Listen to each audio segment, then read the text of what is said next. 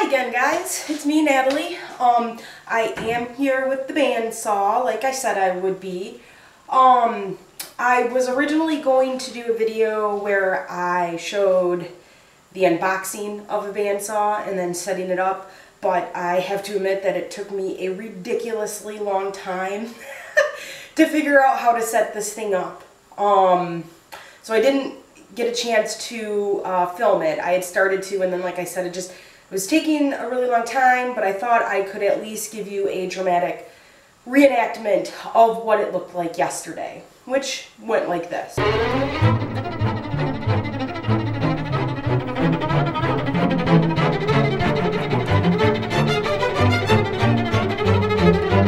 That's pretty much what it looked like. Uh, obviously that was a shortened version, but uh, you get the gist.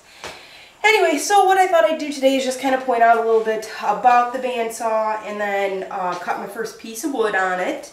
Um, if you'll notice the background here, I did get a handy dandy little workbench. My husband and I went to Harbor Freight the other day and we picked that up. It was $99 and I mean it really for, you know, what I wanted it for, it's, it's perfect.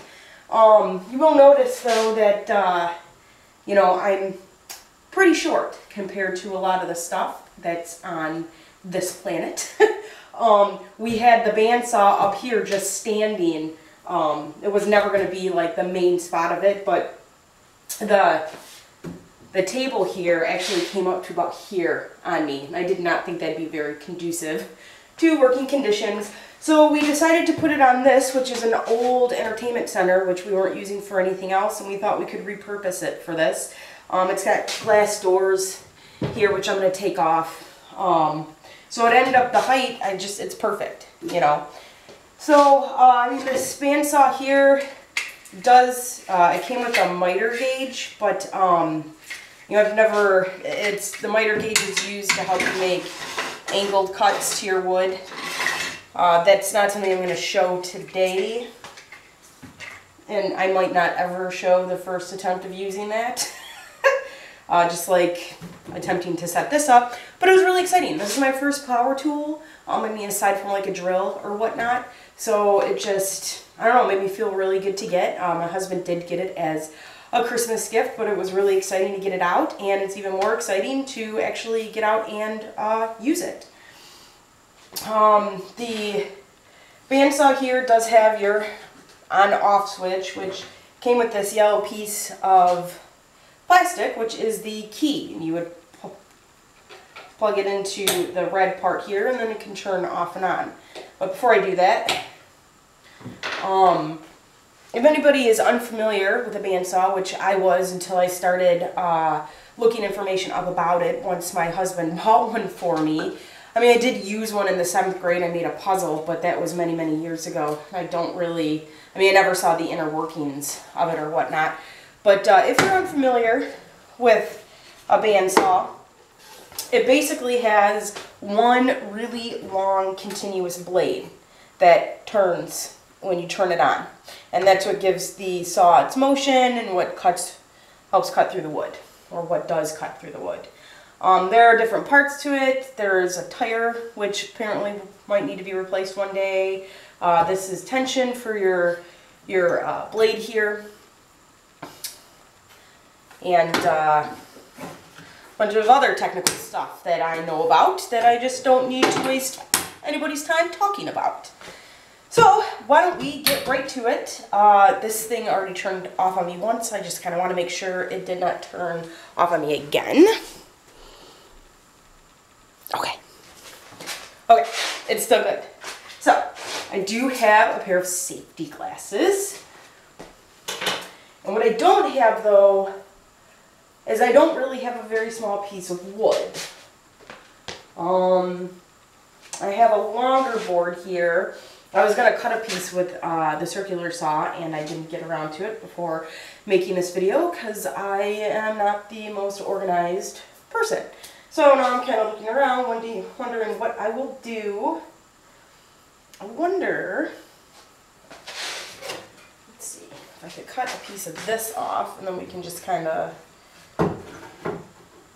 even know if that, well, let's see, see what happens.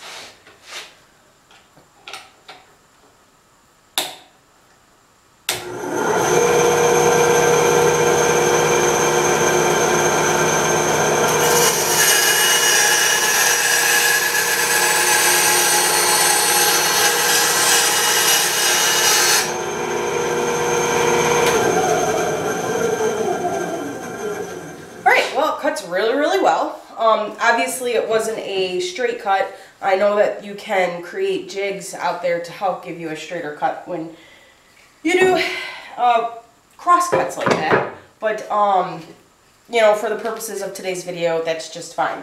So why don't I draw a little design on here. And I think I might move the camera so that you can get a better angle of what I'm doing. Alright, I think this is as good as we're to get it right now. Um, hopefully you can see everything I'm doing here. But uh, let's just see about if we just cut that. Let's see what happens. Alright. you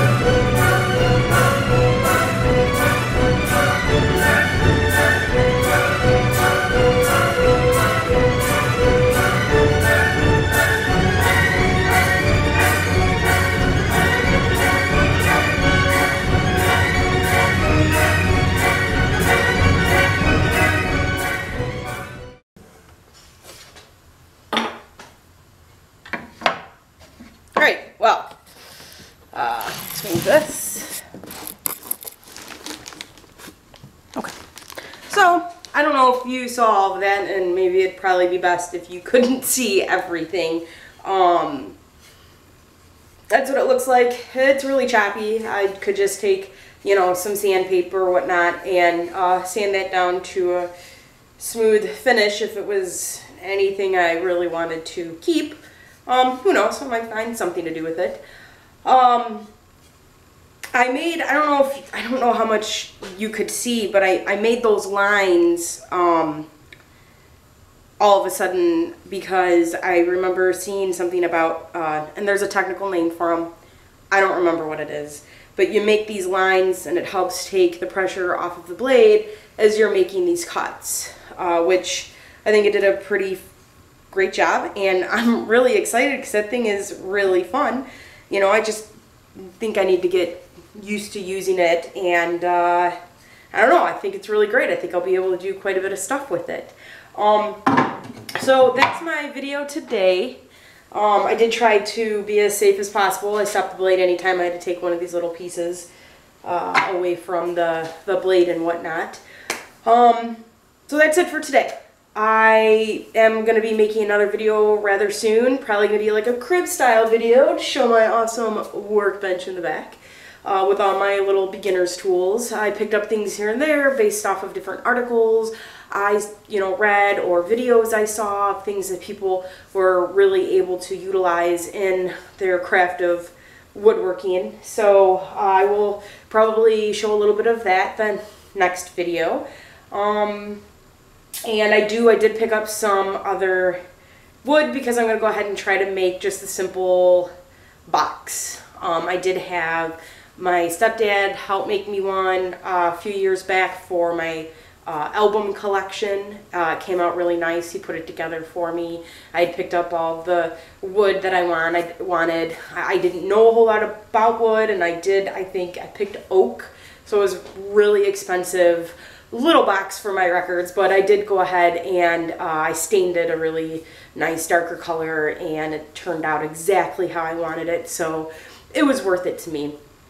Uh, and if you are liking these videos, I know I'm really new at it and whatnot, but uh, if you want to continue on this journey with me, watching all of my excitement as I try out new tools or whatnot, uh, hit the subscribe button. Um, also, I am on Twitter and Instagram, uh, Perras by Design. Uh, go ahead and check me out if you want. All right. So I will catch you guys later and have a good New Year's Eve. Today's uh, New Year's Eve. So, you know, be safe and have fun. Bye.